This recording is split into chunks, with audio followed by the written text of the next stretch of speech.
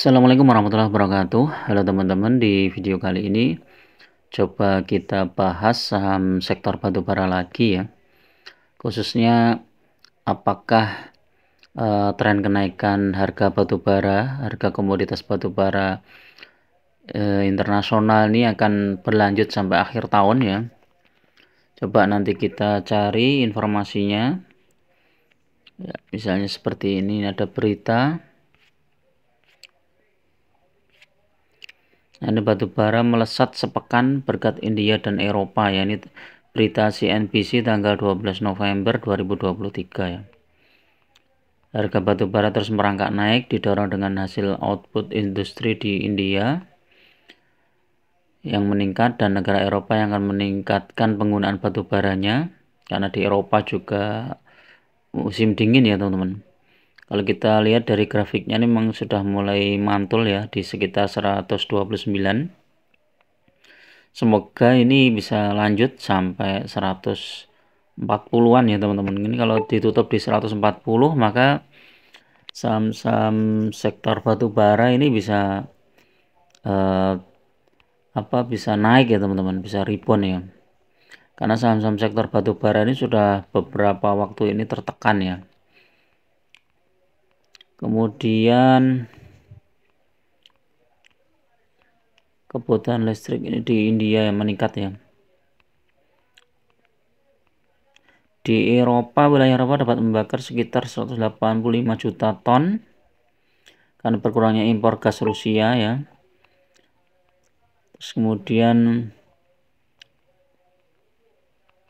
permintaan batu bara tahunan pas. Ini berita yang cukup menarik ya teman-teman. Jadi kalau kita lihat di harga harga komoditas juga minyak naik ya. Minyak crude oil naik brand naik natural gas masih turun ya. Jadi ini beberapa sentimen positif ya terhadap saham-saham sektor batubara ya Nah kalau kita lihat hari ini Adaro sempat menguat di 2510 kemudian turun sampai 2450 balik lagi ini menunjukkan support kuat Adaro di 2480 ya. Ini eh, sulit ditembus ya teman-teman. 2480 ya. Kata kalau kita lihat ini daripada over ya. Jadi menarik ini. Terus saham-saham sektor batu bara kalau teman-teman masih apa punya average di atas mungkin teman-teman bisa mulai cicil beli ya untuk beberapa saham yang sentimennya positif ya. Kayak Adarun dalam waktu dekat ber atau Januari.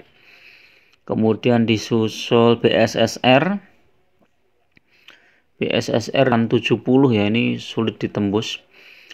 Sempat di 3860 langsung balik lagi ya. BSSR ini secara mingguan juga masih di bawah ya harganya ya.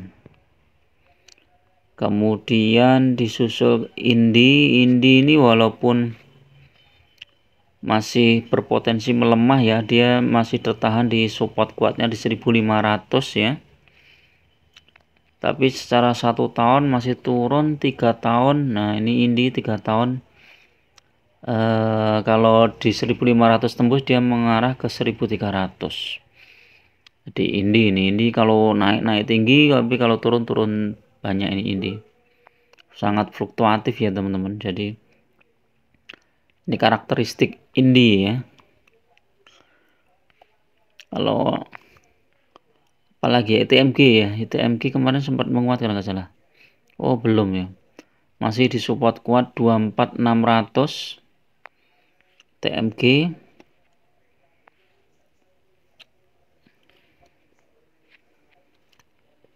PTBA uh 2340 ini kuat banget nih teman-teman kalau hari seminggu eh, harga seminggu ini di pernah terendah di 2310 ya. Setelah itu 2340 itu mantel terus ya. Kalau ini sentimennya masih cukup lama ya sekitar bulan Mei atau Juni ya PTBA United Tractor sempat naik di 23500 kemudian turun ya 2320